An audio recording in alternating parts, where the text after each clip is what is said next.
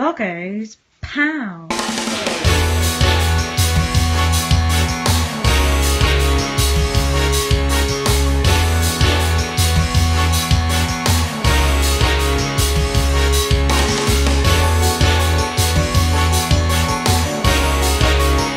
Right, it's unboxing time.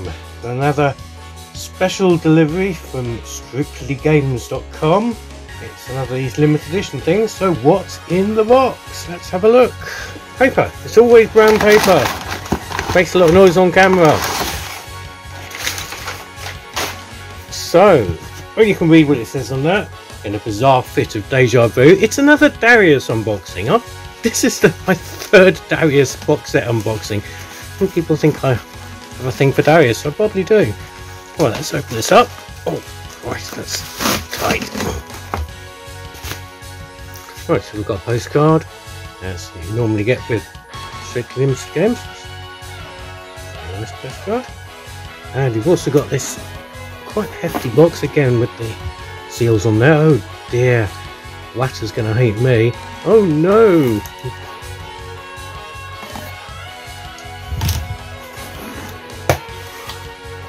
In the side, we have. There we go. Darius Cozmic Revelation. I've looking never mind. Let's see what else is in this cardboard box.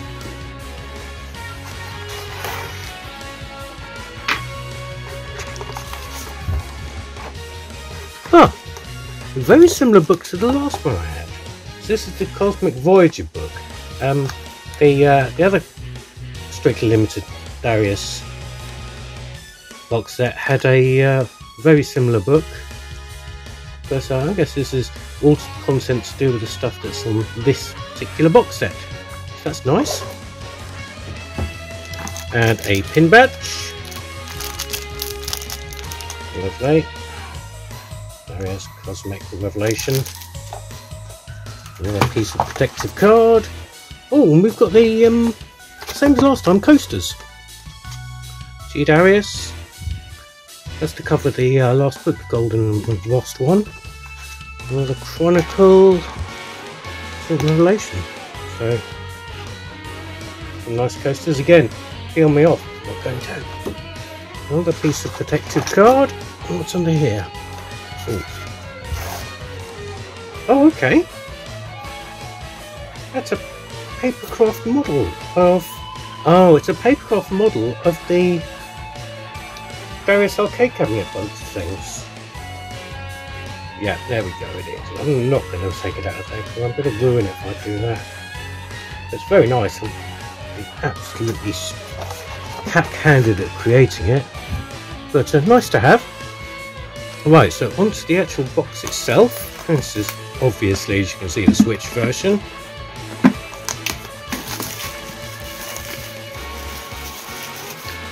Plastic.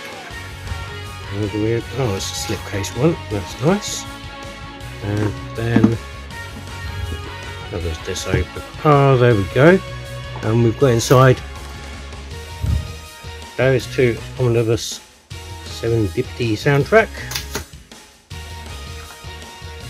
Live in O East Revolt Blu-ray.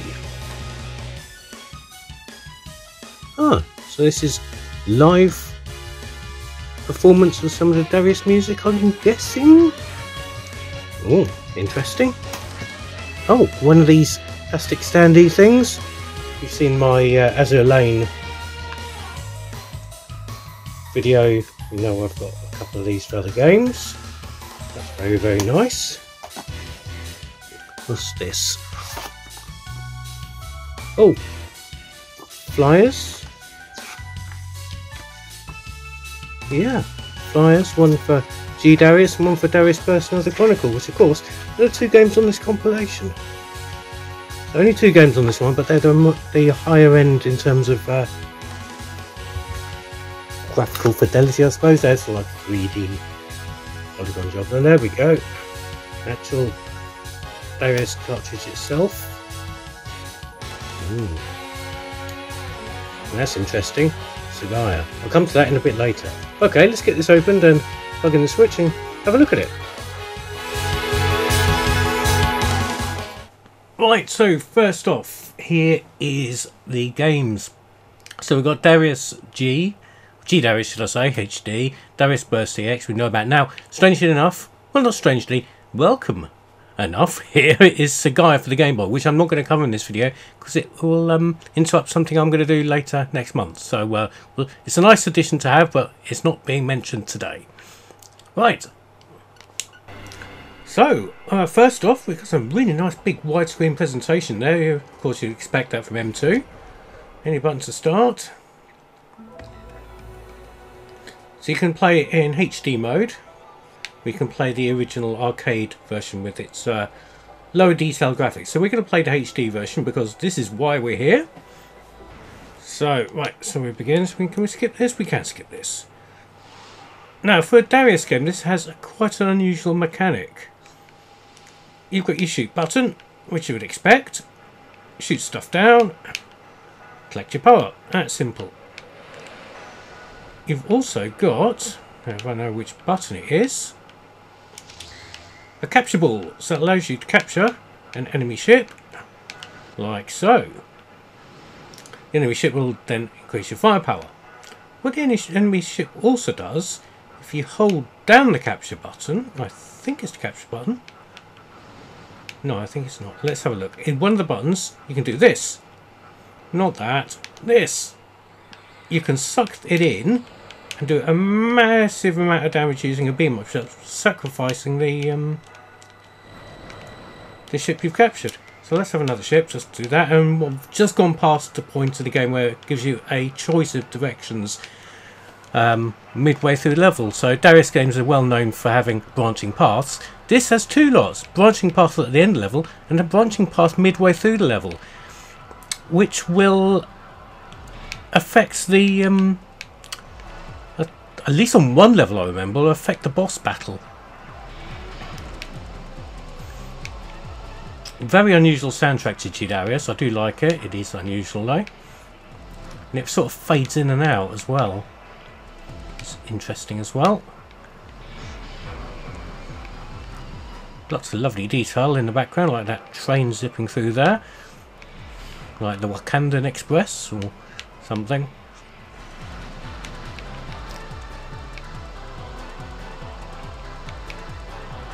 Oh. Lost my shield doing that, but okay, never mind. I'm sure another one will be up in a minute. In a minute. And that's a, probably a bonus, isn't it? Oh, it's a smart ball. Oh, look, there's a shield.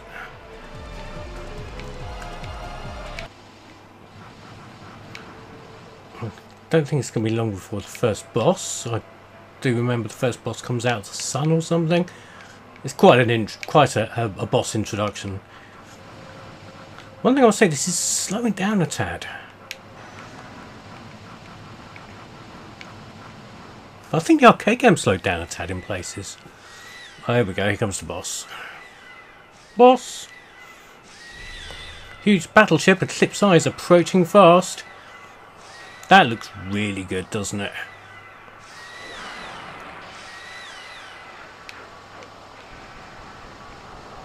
Right, so let's do this. That'll learn you.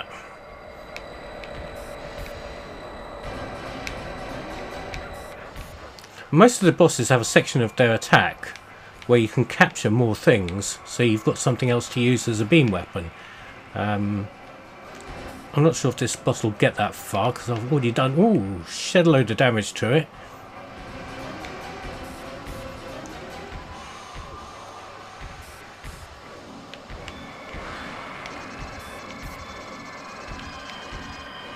It's been a long time since I played this, there we go.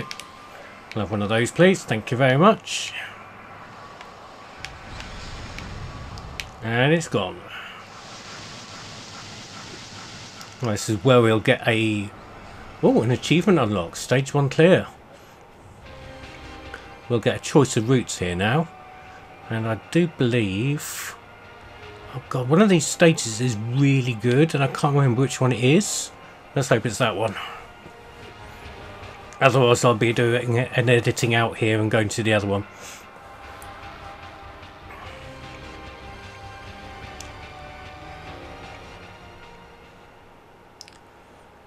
Yeah, I think this is it. Gigantic ship.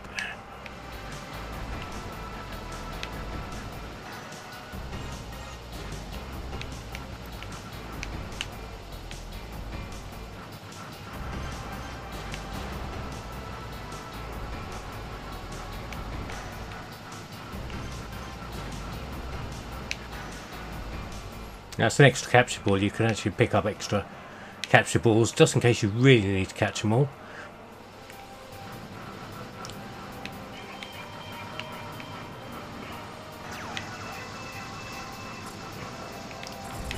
Do with an upgrade to my shield, I imagine. Captured that. That's lovely.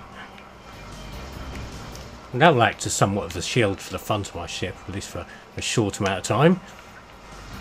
Really great what you can do with your extra firepower just by capturing certain ships at certain times. You can also detonate the ship in front of you by pressing the capture ball button again.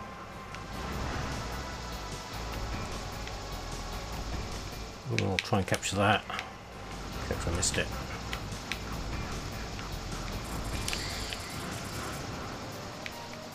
Ah, right, that's right. I've got to blow the arm off the front before the capture ball will work.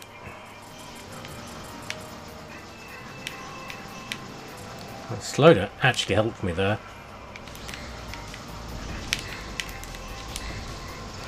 Oh, shit sticks. Right, we need something. Anything. There we go. We'll have that.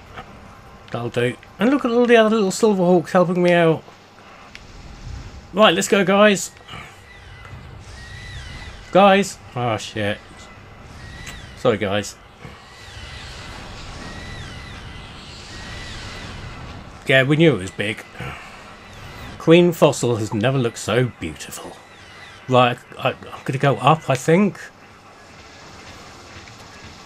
This determines the attack pattern of the boss. And what a boss. It's huge.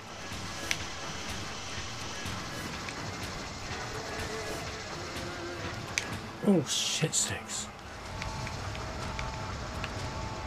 I'm sure the PlayStation version of this was easier.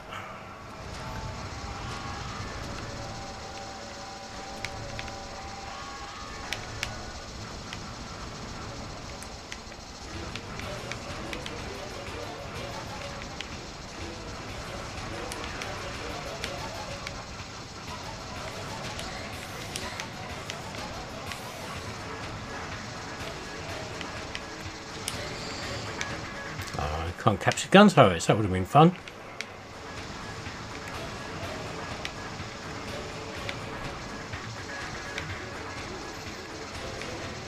This looks absolutely beautiful. Missile? Can we have a missile? No. Need to capture something soon because we really do need it.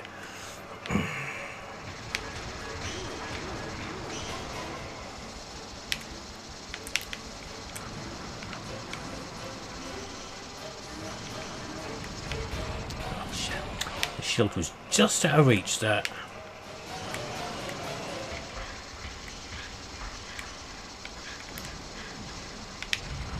Oh, Christ almighty. Right, we're continuing.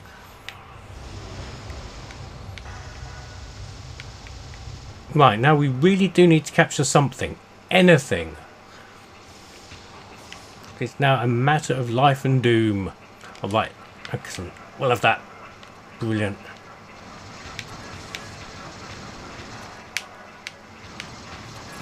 Another armoured thing.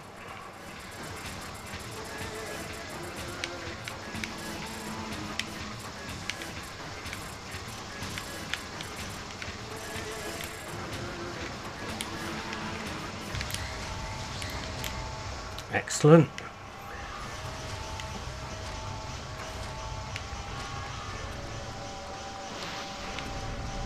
Wow, look at that. That is amazing.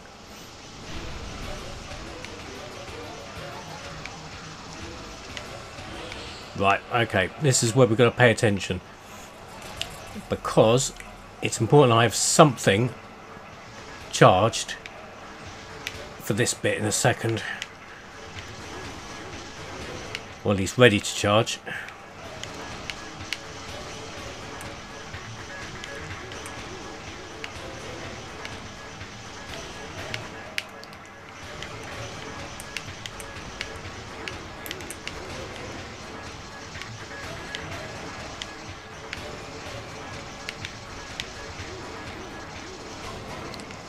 Oh shit!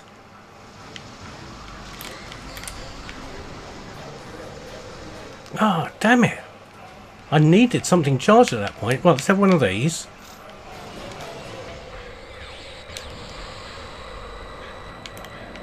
Ah. You can... Ah, didn't quite work. You can deflect the blast back at them if you've fully got a fully charged what's it like one of those. You can really rip through the boss really quickly, but completely cocks it up. So annoyed.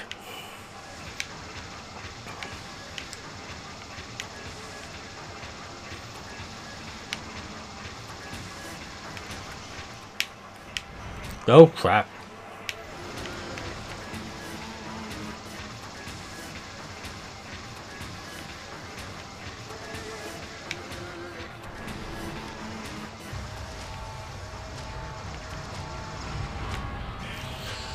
Well, yeah, won't spend too much longer. I mean, that's a good few minutes of play of that. Um, let's move along to uh, the other game. So, this is Darius Burst EX Plus, another Chronicle. So, we have original mode, original EX mode, Chronicle mode. Uh, so we'll go original mode first off. So we could have infinite ships if you just want to waltz through the game. You can select your zone selection here rather than during the game in real time. And this is four players.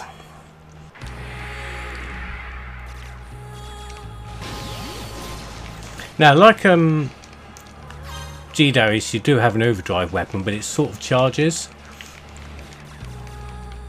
So underneath my ship, you can see a little bar there, which goes up as I shoot stuff and then when that's fully charged I can use it. I do believe I can use it when it's partly charged but you don't get quite as much power out of it. And this is the first game since Darius 2 to bring back the uh, large widescreen approach.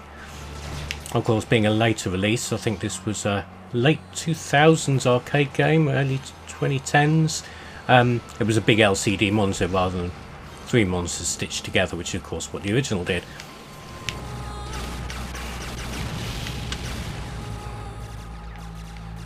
And it's very nice and very pretty.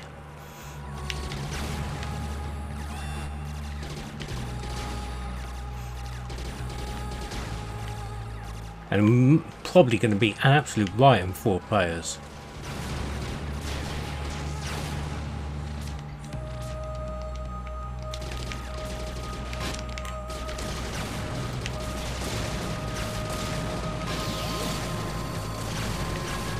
Oh, that's right. Forgotten about that. If you double tap the beam button, you bring out a little option which will uh, stay put in a certain position and do your dirty work for you.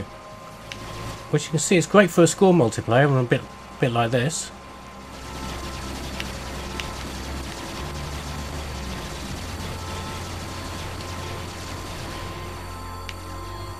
Which was nice. Iron Fossil is approaching fast now. It's Queen Fossil's younger brother or child or something. Not quite as hugely impressive, I don't think, as the G Darius uh, version, but still pretty cool nonetheless.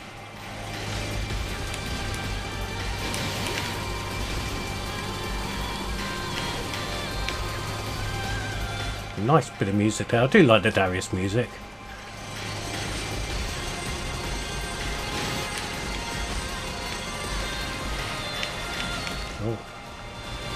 Be a powerful shot coming out of that. Let's do the thing with the beaming thing. It didn't quite work, did it? But at least I didn't die this time.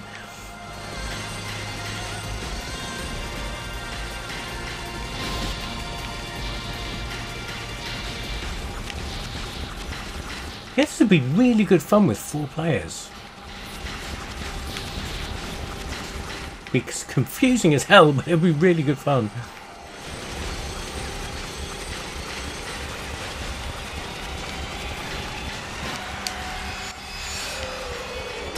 Oh, there we go. How'd you like your fish? Exploded. World top ranker, apparently. Did that say I'm seventh up there in the corner? That'd be weird if it was.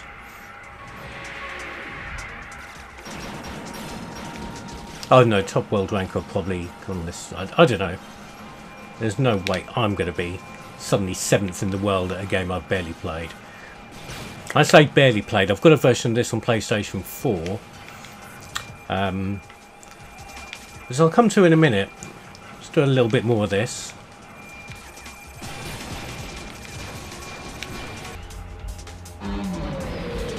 His battleship Lightning Claw is approaching fast now.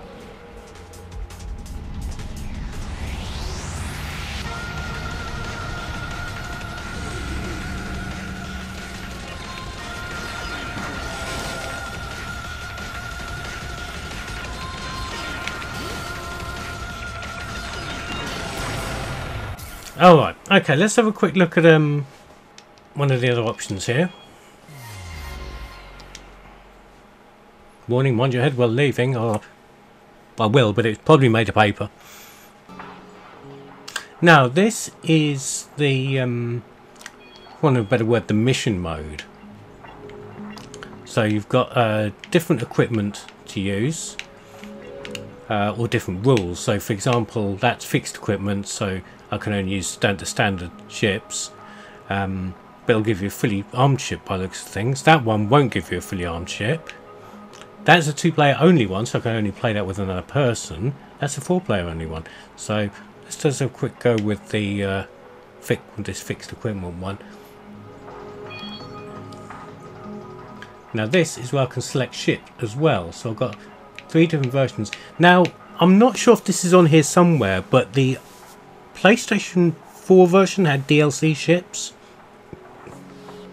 from things like Raystorm and um, other Taito shooters. Uh, uh, maybe some Sega shooters as well, I think I vaguely remember. But uh, I don't know if they're in this version.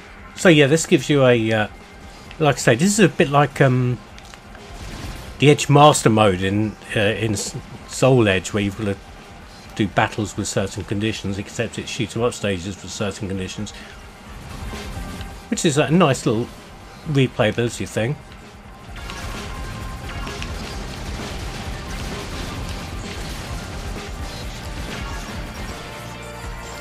So for this stage I've got almost fully powered up ship and uh, also um, 16 lives to do it in. Which is interesting. And it's probably because it's going absolutely mad with the uh, with the enemies here.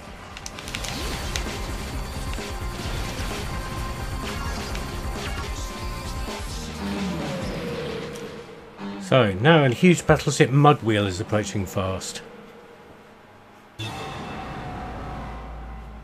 Oh god, I remember this guy from when last time I played it. I think it's nearly gone. Yeah, well that wasn't too bad, was it? Right, I mentioned the PlayStation 4 version I'd played previously uh, a while back, and that was Darius Burst CS Chronicle Saviors, and they've got and that's got a section of the game called just Chronicle Saviors, and it's a single screen rather than a stretch screen affair, uh, which plays a little differently and it feels a little differently. The main difference being that the graphics are a lot larger because it's not forced into widescreen, and that's not on this compilation, and I find that very strange. A little bit disappointing that it's not on there as well. Maybe it's because that was a PS4 exclusive. I, I don't know. Um, I don't know enough about the Darius Burst series because there seems to be a few dozen different iterations of it. But a strange omission, um, and doesn't make it the quite the complete Darius collection I was hoping it would be, taking into account the other Darius games that were on the previous compilations. But still, it's a nice box set to have. Uh, nice to have a HD version of G Darius, which is an excellent game, one of my favourites in the series. And Darius Burst EX Chronicles, whatever it's called. Yeah, it's nice. I would like to play it four players. That'd be really good fun. The box set itself is really well produced, as you'd expect from strictly limited games. I'm not on their payroll, by the way.